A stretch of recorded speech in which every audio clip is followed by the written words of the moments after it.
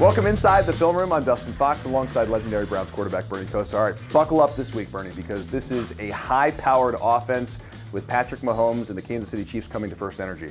Yeah, this has been a lot of fun this week in my film study. From a, as an old offensive guy, to be able to look at the type of X's and O's that Andy Reid puts up mm-hmm. here and Patrick Mahomes in this Kansas City offense. Some of the stuff that you see from Kansas City, like even this play right here, Bernie, this is video game type stuff. Like this is not real life, but somehow the Kansas City Chiefs are finding this, ways to do this really, stuff. That's, that's, really a great analogy. You know, you have it's it's a fourth and one call. It's early in the game, and this is part of the reason why Kansas City is so tough to handle. You've been hearing all year, uh, last couple years, about the RPO, run, run pass option.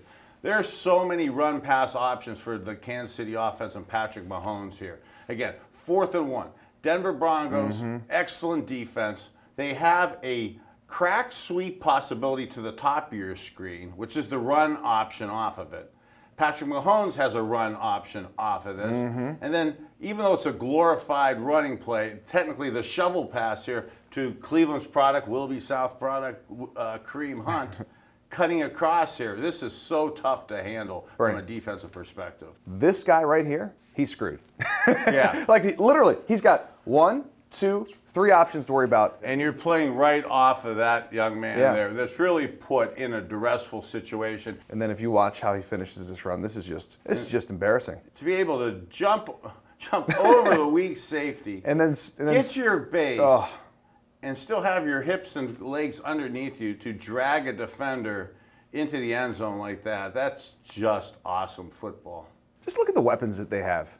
I mean, Kelce, Watkins, Tyreek Hill, the fastest guy in football. This is one of the best running backs in football. This guy has the strongest arm in football. Like, how do you stop it? Right. And you add those perfect weapons like that with that athleticism, that strength, that speed, with this sophisticated, oh. top tier Masters program offense.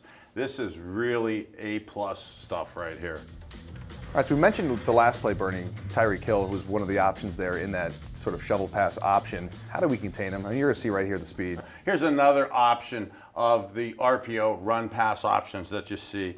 Um, again, Andy Reid, a subtle thing, but as we talk about, like to talk about, just a pre-snap motion. This is a subtle motion by Tyreek Hill. But with the way the defensive back, the corner, is running out with him, you could see that it's man coverage. When you have these RPOs like this, it could be a running play to Kareem Hunt to the right here. And Patrick Mahomes is just reading the defensive back linebacker number 47 here.